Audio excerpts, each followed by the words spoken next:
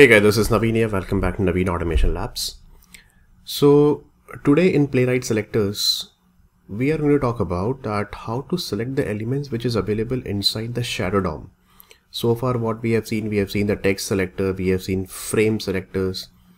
And then now today we will see that how to select the element inside the Shadow DOM. So I'll do one thing, I'll just cut it from here and then I'll put it here. This is the third thing that we are going to talk about today.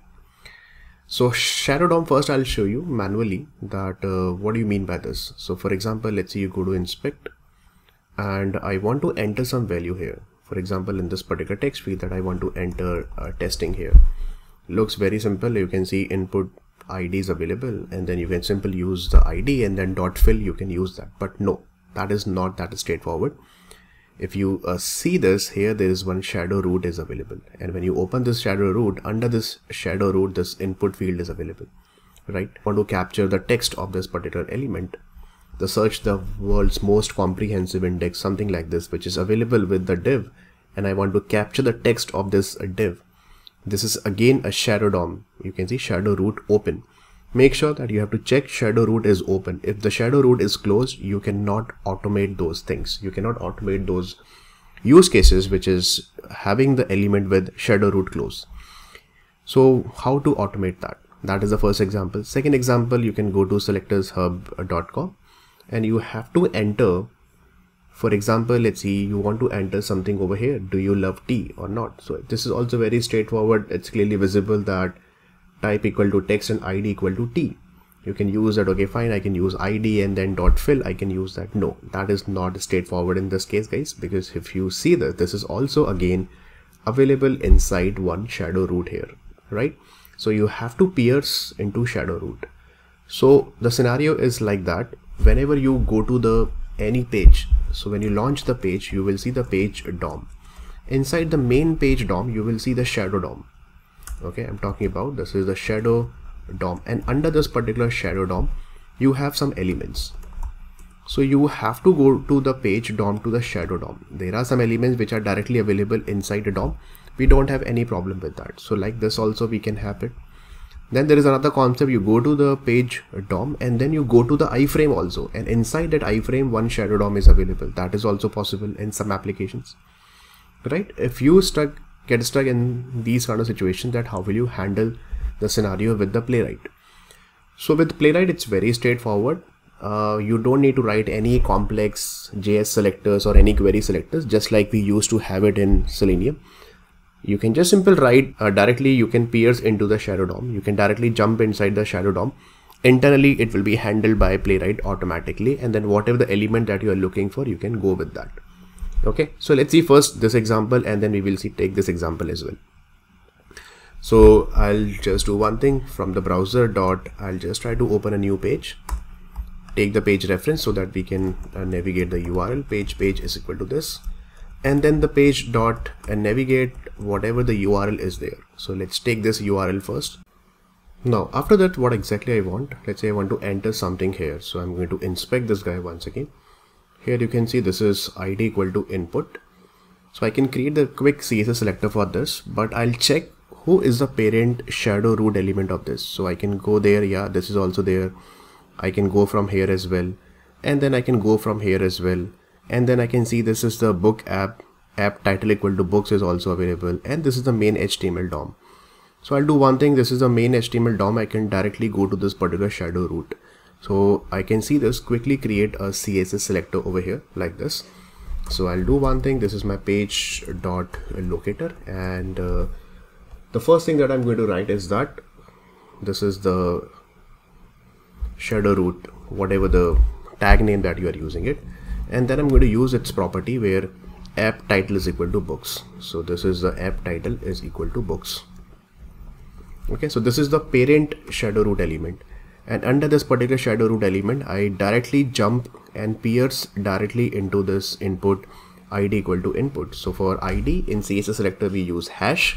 So I'll simply say that yeah okay this is the input and uh, whatever the id is available input. That's it. And then you just need to fill this whatever the value that you want to enter.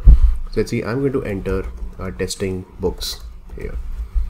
So what will happen in this particular text field the testing books will be entered okay? If you want to use any other property class property also you can use that. Although there is no class so id is directly available so i can use hash id otherwise dot class also you can use that. Okay? So let's see this is actually uh, working or not. You don't need to write any query selector no shadow root hierarchy you have to maintain nothing. Just simple go to the specific shadow root and then see this. So fast testing books got entered perfect. This is absolutely working fine. Now I'll do one thing. I just want to capture the text of the search this particular text also. I'm going to inspect this guy once again. And here you can see this is a div and class is equal to this. So what I can do I can just directly again write this page dot locator once again. And from here I'll do one thing that uh, from here you just give me what dot and this is the class name. So copy this particular class name and that's it. So under this particular shadow root we have one element where the dot class name if it is id you have to use hash id and then I don't want to use fill here. I want to capture its text content and then store inside the uh, text some value like this and then try to print it on the console. That is system.out.println text. So let's see this is working or not. So run as java application okay so first it will enter uh, testing and then see. Awesome it's getting printed on the console. Search the world's most comprehensive index of full textbooks. Exactly same text okay? Text is written over here as well. Okay so remember this thing. We here in the uh, playwright we don't need to write any complex uh, query selector or something like this. Earlier what we used to have that we used to have right click on it and then go to copy and copy js path and then use javascript executor in selenium. Here we don't need to use all those things. Now let's take this example as well. That is where we have to create one uh, shadow root once again and then coming over here. And here you can see this is the a text field is available where id equal to t but this is again available under this shadow root element. And this shadow root element is actually available inside one iframe. It means we have uh, see just keep scrolling up and there you will see one iframe here. So this entire section is actually this entire section is available inside the iframe. Iframe is available inside the page dom. So that's why the second example page dom go to iframe. Under iframe you have one shadow dom and then you have to interact with that element. So how will you do this? So i'll do one thing. Let me just comment it out uh, this one this example. This is the first example. Then i'm going to use the second example. So i'll go check page dot navigate to. And then i'm going to create the same thing page dot frame locator. We have to use that. In the last chapter we have already seen this right? So you have to go to the specific frame locator. So what is the frame locator in this case? The frame locator is uh, here you can see id equal to packed. So you can just simple say this is hash packed. You can use that. And then from there you have to go to the locator. That is the shadow root element directly. Okay so what is the shadow root element in this case so in this case I'll just keep scrolling down. And then or I can just directly inspect this guy once again. This is input. And then I'll just slightly go up and check that yeah this is the shadow root which is starting from here. This is the root of the shadow root id equal to snack time. Perfect. So see this? This is what a div also. So i'll just say that there is one parent shadow root div snack time and then go to its child. So what is the child of div id the child of this id is this one input id equal to t so there is one IDT is available. You can directly write hash T also or input hash T also. You can use that. If you really want to use class, you have to use dot class. And then I'm going to enter fill. And then I'll say I like uh, ginger tea. Right click on it, run as Java application. And uh, it's very fast as compared to Selenium with respect to shadow root. Once the page is fully loaded and here you can see ginger masala tea got entered here. Perfect. This is also absolutely working fine here. If you see the same code with selenium see i'll show you the selenium code as well. So in selenium we used to write let's see this is the shadow root element. Here this is a selenium. And in selenium first we have to create a doc, doc, document dot query selector then go to the shadow root and then go to its a specific query selector and then go to input and then you have to enter Naveen or any book that you want to enter that. So you have to use javascript executor and then js.execute script you have to write it and then this is the query selector you have to prepare it first.